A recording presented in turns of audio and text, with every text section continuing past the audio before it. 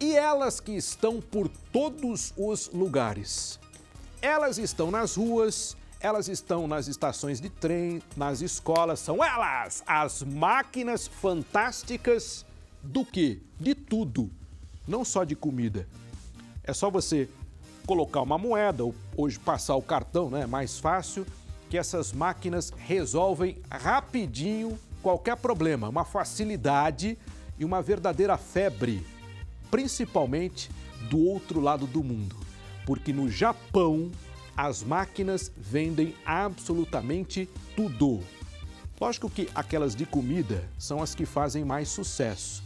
Você pode comprar um lanche, pode comprar um almoço completo, pode comprar sopa quente ou, se você quiser, você pode experimentar algo mais exótico. Por exemplo, quando eu estive no Japão lá com a Silvia Kikuchi, ela me levou numa máquina que serve aranha frita.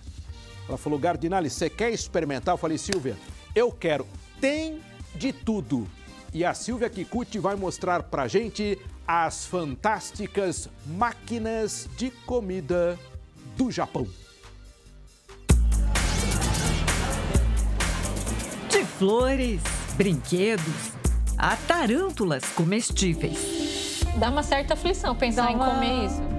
Tudo à venda num aparelho como esse. Nossa, bem quentinha.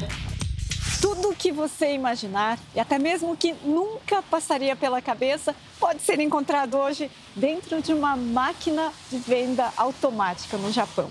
Espalhadas por todos os lados, elas fazem parte do cenário das cidades, da rotina das pessoas. São mais de 4 milhões de máquinas automáticas para venda instaladas no Japão. Para um país de 126 milhões de habitantes, isso representa uma máquina para cada 30 pessoas. De longe, a proporção mais alta do mundo. Apesar de todo o sucesso no Japão, não foi aqui que elas surgiram.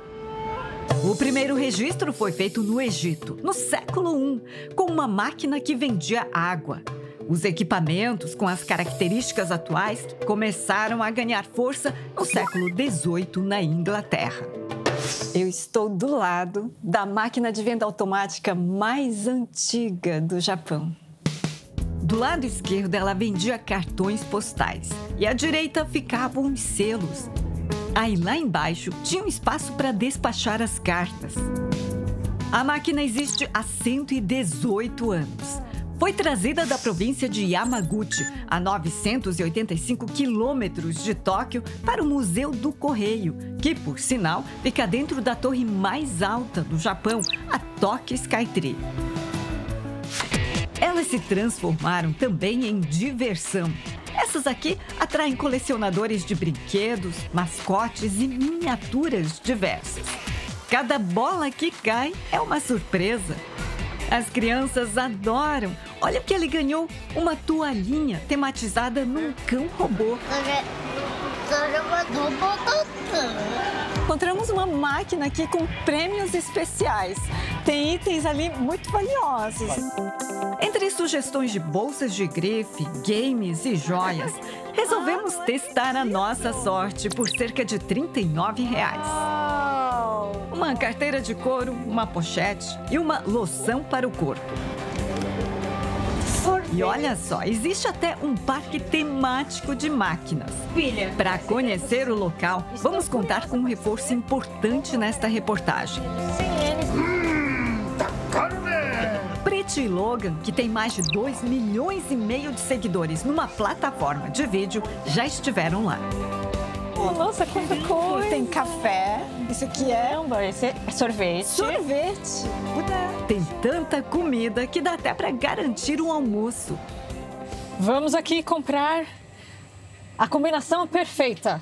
Bolinho de arroz assado com cachorro quente. Hum, três, dois, dois, um.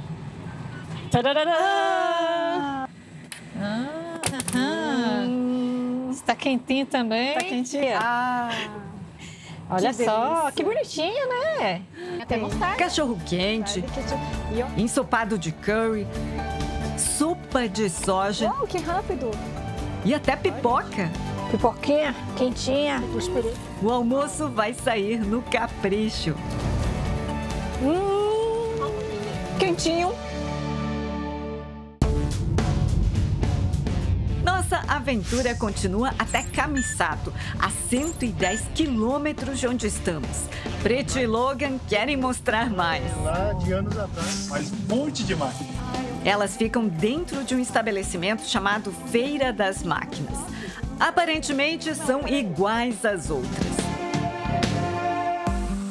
Só que não.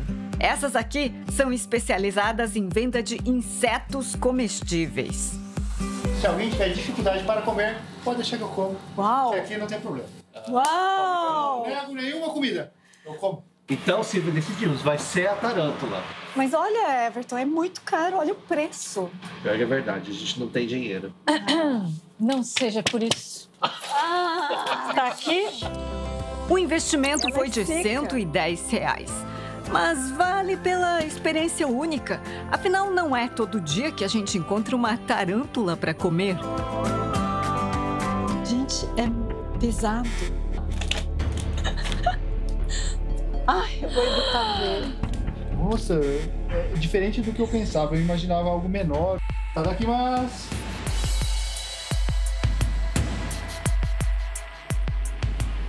Bem pra camarão. Ou aqueles peixinhos secos que tem no Japão que você coloca no arroz também. Ainda bem que a loja vende outras comidas, como esse ensopado típico japonês. Essas funcionárias nos presentearam com doces e biscoitos. Mas olha os bichinhos ali dentro. Elas garantem que os sabores são bons e os grilos assados lembram castanha. Essa pra As máquinas não precisam de um lugar especial. Qualquer um pode viver sem elas.